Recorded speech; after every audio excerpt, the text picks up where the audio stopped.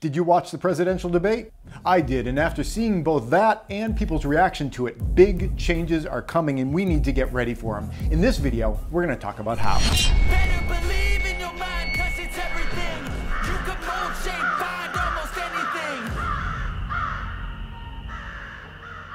Hey everybody, this is Praxis, and in this video I want to talk about uncertainty. I'm recording this video just a day after the day after the recent presidential uh, debate, if you want to call it a debate. And what I'm reacting to isn't the debate itself, but people's reaction to the debate.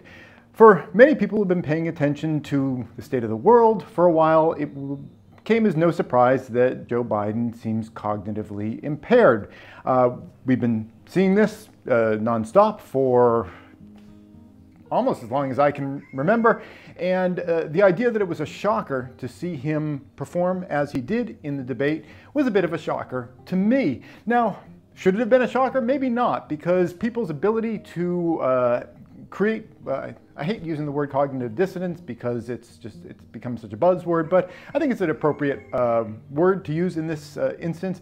Uh, people's uh, ability to create cognitive dissonance within themselves where they can witness something but disregard it in some way, where they can, you know, file it off uh, under you know, some other heading, uh, is pretty profound. Uh, Joe Biden has been demonstrating that he is in cognitive decline due to the fact that he's so old. Uh, you know, you can't criticize the person for this is what happens to our bodies as we, we get old, and it's, it's sad, it's, uh, it's unfortunate, uh, but you know, it's not the fault of the person that's suffering from it.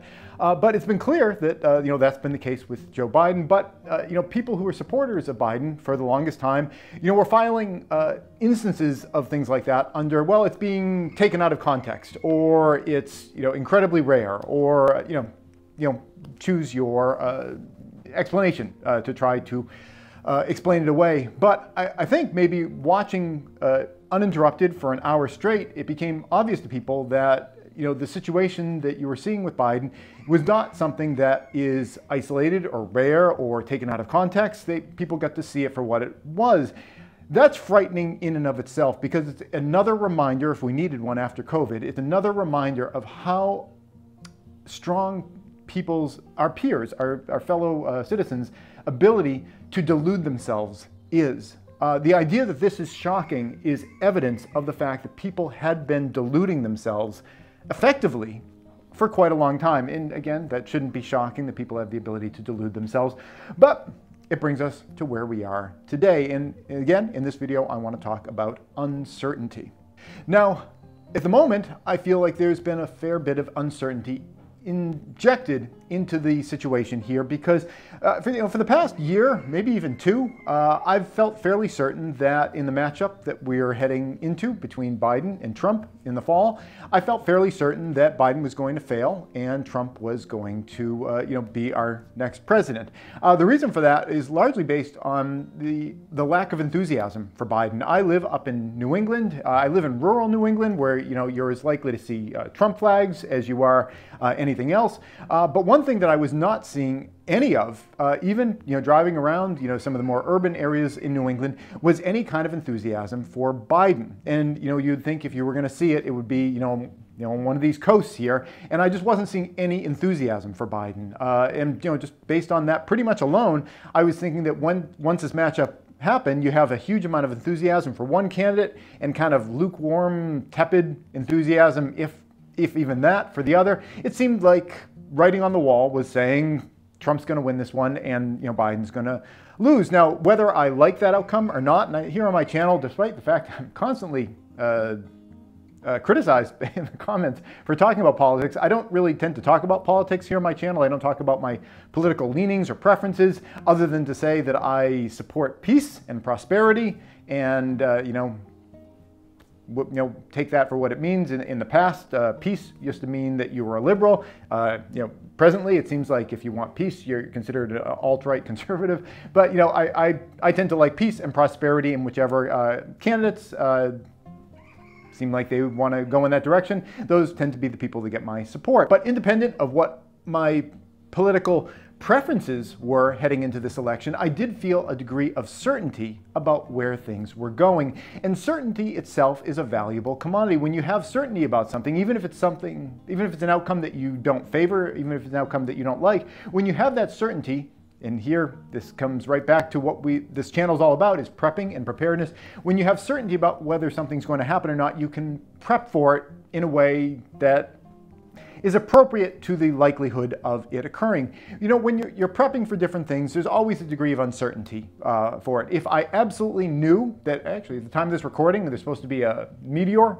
flying by. Now it's been a buzz all over the internet about this uh, huge meteor and it's like a near Earth flyby. Apparently this one's not even inside the orbit of the moon, so I'm not sure why there's all the the fuss about this particular meteor because there's been pl plenty of other meteors that have come closer that the, the media doesn't tend to focus on at all. But as an example of a meteor impact, if I knew that there was going to be a meteor impact, I could focus like a laser to be prepared for that. Now that's a difficult thing to prepare for, but at least if you knew what was going to happen, you could prepare for that specific event. If you knew that there was going to be an EMP strike, doesn't mean you have to want there to be an EMP strike or to favor, uh, you know, that that's something that happens. But if you knew that there was going to be an EMP strike and you knew when it was going to happen, you could get everything put into your Faraday cage and, uh, oh, you're going to you might be able to hear some water. We've got gray water dumping into the greenhouse right now. Uh, you can put everything into a Faraday cage at the appropriate moment. If you know what the future holds, whether you like that future or not, you have a better ability to prepare for it. And up until yesterday, I felt like I had a pretty decent ability to prepare for the result of the upcoming election because I felt like I knew what the outcome was going to be.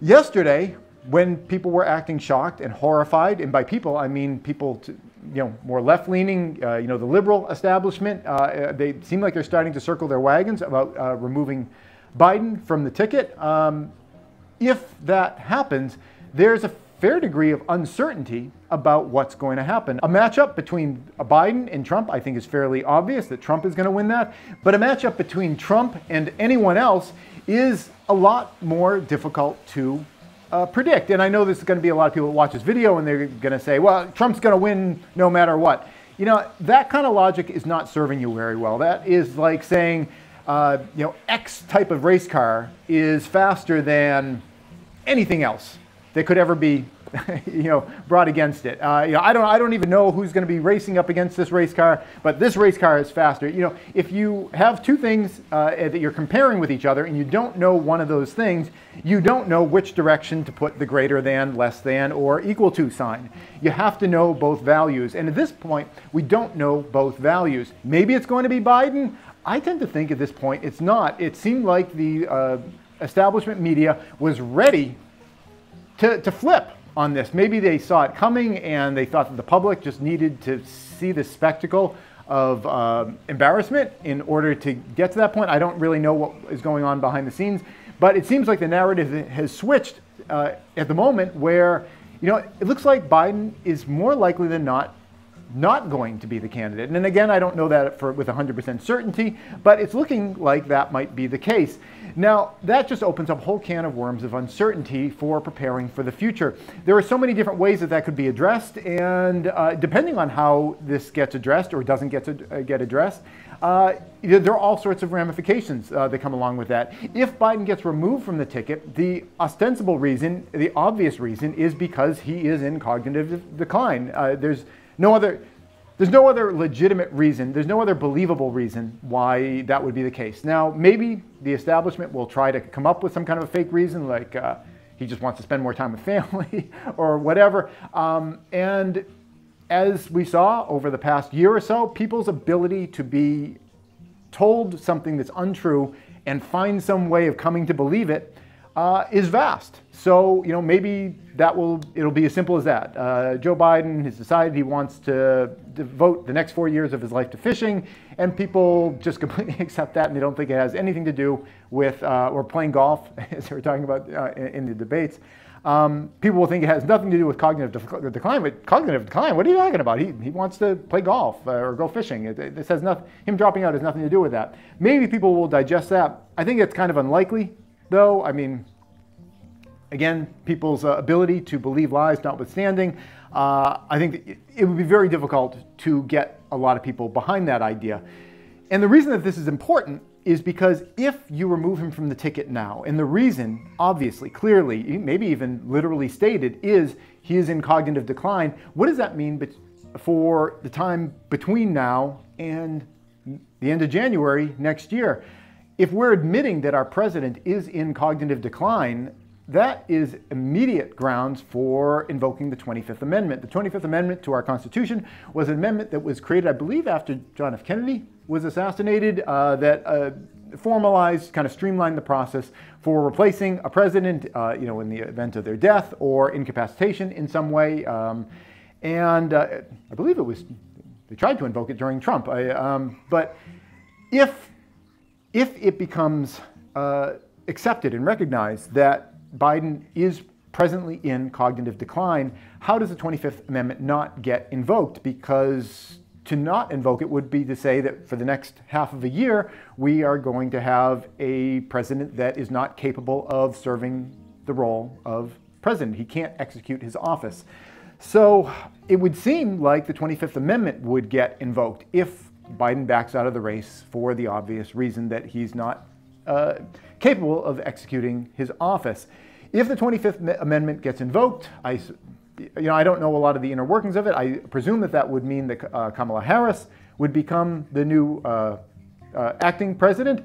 And you know, what does that set things up for? Uh, if Kamala Harris becomes the new acting president, uh, does that mean that she would become the new nominee? And if she doesn't get offered up as the new nominee for the next election, you know, why is that? Is the, is the party itself suggesting that they don't have faith in the current acting president? Again, uh, that would be the Democrats uh, saying openly that they don't think Kamala Harris is, you know, their their best choice for uh, you know being the president. And what would that do to her situation, her ability to govern in the uh, in the interim? I mean, talk about lame duck. You know, what kind of situation would that set up? The type of situation that sets up is a severe amount of uncertainty. You know, here in the prepping world, uncertainty is something that we deal with all the time. We don't know whether there's going to be an EMP strike. We don't know whether there's going to be a uh, you know meteor impact. Some things are more certain than others. Uh, you know, the uh, the changing climate is something that is. I, I think it's about as close to certain as you can get. Uh, the only the only uncertainty related to that is kind of timing and severity, and you know what are, what is going to be the the exact mix of that. Um, but Uncertainty is something that you know is part and parcel to being a prepper because we're dealing with the future and the future is always to some degree unknowable. So if it is a situation where we are entering into a new phase uh, politically here in the United States over the next six months, where there is going to be an enormous amount of uncertainty uh, surrounding um, you know, our executive office, uh, you know, what are we going to do about that? And I, you know, one thing I just want to throw out here, and it just popped into my mind, that one outcome of this is that nothing happens, that things continue as they have been going, and that Biden is continuing to be the candidate for uh, the, the next election. Uh, and that might make one think that, well, okay, well, that would be a situation where you remove that uncertainty, but still, there's always going to be that uncertainty because people will know the situation that we're dealing with and there'll always be that thought in the back of their minds you know what's going to happen next? What's going to happen next? Is there going to be another one of these embarrassing debates? We have more debates coming up. Is it just going to be even more of a train wreck? Um, you know even, even a situation of just keeping the status quo would not remove any uncertainty because the status quo is very unstable. Unstable, uncertainty, that's what preppers deal with. So, how do we deal with that? How do we deal with the uncertainty of the political situation that we see in front of us?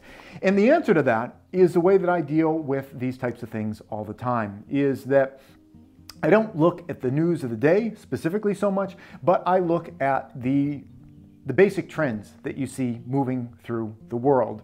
Uh, we see a moving trend here in the United States where you know, the idea of the American dream is becoming farther and farther removed from people. Uh, the idea of uh, being able to earn a, a living that is, you know, an, an, income that is going to provide a living for you that is in line with what a lot of people have as their expectation, that is diminishing and diminishing. And uh, there's an enormous amount of uncertainty uh, around energy and, you know, all the different things that we take uh, for granted as part of our, our life.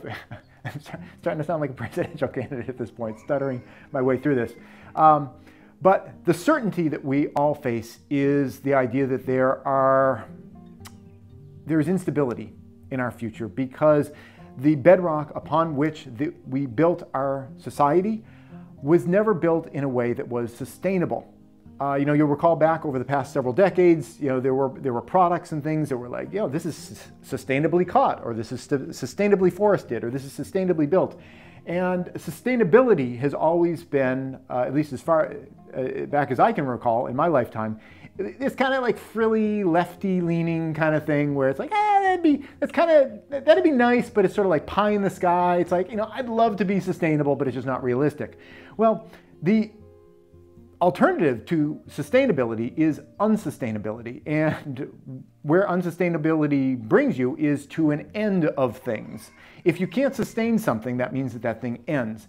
So if we are living in a society which is based on unsustainable practices, which we all collectively agree that we're doing because, you know, sustainability is nice, but it's kind of pie in the sky and it's like, you know, that's, that's for liberals and, you know, the, the, the rich elite and stuff. So we all agree that we are living in an unsustainable society. Uh, generally speaking, I, my dad's always on me whenever I use the word all. I don't mean all because there's always somebody. But um, the general consensus is that we have chosen to live in an unsustainable society and unsustainable situations come to an end. And we're seeing our society come to those ends at the moment. So the way that you prepare for unpredictability is to look at those basic kinds of realities that you see in the world around you and prepare for where those things are going. It doesn't really matter whether Trump or Biden or some question mark uh, presidential candidate gets into office because the underpinnings of our society are still unsustainable. We are still riding this society in a way that has to come to an end. And no politician is going to be able to change that. Maybe politicians in the past could have kind of bent the arc of history one way or another, but when you are this close to the wall, that bend is not going to do you anything you're still going to hit the wall. So that really is what we need to prepare for, not whether this candidate gets elected or that candidate gets elected, because the arc of history is steaming us full steam ahead towards the end of our civilization. Again, and it just comes back to the idea that sustainability, having a society that can continue on ad infinitum out into the future was always seen, at least over my lifetime, as being, you know, it's kind of nice thing, but you know, not for everybody. When you're unsustainable, you have to come to an end, and we're coming to that end independent of whatever political candidate gets into office. So while the situation surrounding the debate and all of this might uh, seem like it adds a lot of unpredictability into our future, and in some ways it does, for the grand arc of history which we are all riding on right now, it really doesn't make a lick of difference. And the reaction to that is the same as it is for all of uh, all the other types of things that we do as preppers. As preppers, we see our society as being unsustainable, as being uh, fragile, as being easily uh, uh interrupted with you know supply chain in interruptions and uh, you know energy uh, interruptions and interruptions in the in the, the peace and prosperity of other people's lives, which you know you know create, can create violence. you know, so as preppers, we see these types of things coming towards us, and we prepare to put a lot of those burdens on our own shoulders. Uh, you know, whether that means getting more energy uh, collection equipment at, at, your house, you know, to collect energy from the sun so you don't have to rely on the grid, whether that means uh, creating food collection equipment at your house in the form of gardens or animal husbandry so you can collect food uh, from that. You know, I, I, said this recently in a, video and I, I, I like this, um, this turn of phrase that, you know, you're, you have that surface area of the earth that you interact with, and that surface area contact with the earth and the sky is what creates our life. People in the cities, uh, they have an incredibly small access to surface area of the earth. Uh, you know, everything's covered in concrete, and um, you know, they, they, don't, they don't have any of that access uh, to the, the life-giving surfaces of the earth. But if you can get yourself into a situation where you have more of that earth contact, both with the sky and the the, the Earth's soil surface, you know, you can start replacing some of these systems that, you know, if you live in the city or 100% essentially uh, re reliant upon our government and our society to fulfill for you, if you can move into a situation where you can start creating some of those services for yourself, then you become less reliant on an unreliable system, and that is going to give you more reliability. The, the less you're reliant upon the unreliable, the more reliable your situation can be. So that's really the, the take home, uh, you know, after the debate and people's reaction to the debate, and really anything that we face in our world. The more that you can take away from depending on society for things, uh, you know, the better off you're going to be because if someone is unsustainable, that, that's kind of a, uh, a synonym for unreliable. Unsustainable means unreliable. And our society is becoming more and more unreliable by the day. That's it. I hope you enjoyed the debates. I watched a, a good half of them with my boy. Uh, he, I thought he needed a little pick-me-up, and I thought uh, two old, near senile men quarreling with each other would kind of um, uh, put some of his uh, problems in perspective, and we had, had, a lot of fun watching that. I hope you had some enjoyment watching that as well. You know, just because situations in the world are not going in a positive direction doesn't mean that you can't enjoy some of the gallows humor on the way down, and while that might seem inappropriate and callous, the alternative is the exact same thing, but you're not not having fun at least on the way down. So enjoy your days. You know the way things are right now. Uh, you know it might be tough, and times are tougher than they were in the past for many of us, but they're nowhere near as difficult as they're going to be in the future. So appreciate the time that you have. Appreciate the days that you have. Take advantage of them. Uh, today, for myself personally. Uh, it's going to be a productive day for me. I, have had a lot of ups and downs lately myself. For the past three months, I've really been nursing a sprained ankle, and you guys maybe have watched my channel, know that I've mentioned my sprained ankle in the past. Uh, yeah, it's something where I keep not letting it heal enough, and then I kind of re-injure it. We've had issues with porcupine uh, lately. I've had to hunt down two porcupine in the woods, uh, which we did end up eating. Uh, I'm thinking about maybe doing a video about butchering one of the porcupines. I recorded it earlier. I'm not sure whether I'm going to share that video or not. I, am not sure how much I can even show of it here on YouTube.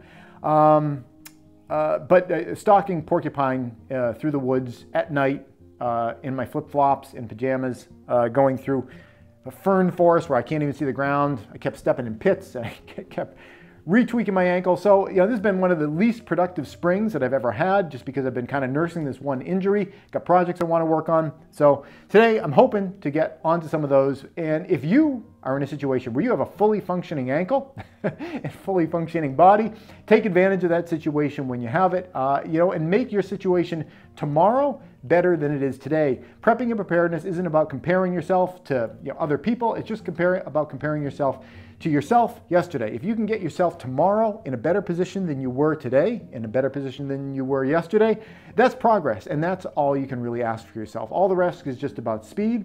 And the speed just comes down to whatever your personal desire is and whatever your personal ability situation is. But whatever your personal situation, all you can really ask of yourself is to try to get yourself tomorrow better than you are today. And the way that you do that is by putting in the effort here and now, today, while you have the opportunity. If you want some tips about how to do that, here's a link to a video up here where you can check out where I talk about some of the easy things that you can do to just start down this journey, even if you are starting from square zero.